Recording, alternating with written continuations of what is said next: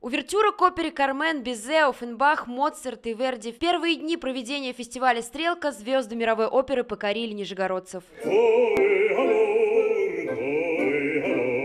Летние вечера, наполненные классической музыкой и прогулками среди ажурных конструкций Пакгаус, было решено продолжить.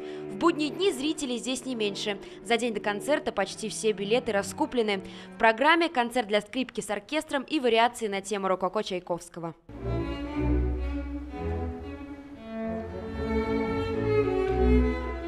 На пресс-конференции звезды мировой оперы благодарят нижегородцев за теплый прием и настоящую стойкость перед стихией. В дни концертов дождь только поспособствовал созданию атмосферы. Порадовал также и звук. Сделали для нас комфортные условия, такие, как будто бы мы поем в зале. Это нам очень важно. Нам э, нужно слышать э, отзвук. Ну, как, как это правильно сказать? Акустику. Нам нужно слышать акустику. Сегодня в программе арии из опер Моцарта, Афенбаха, Челеа, Римского, Корсакова, Глинки, Чайковского, Пучини и Верди. Вероника Демина, Василий Терехин и Виталий Кудрявцев. Время новостей.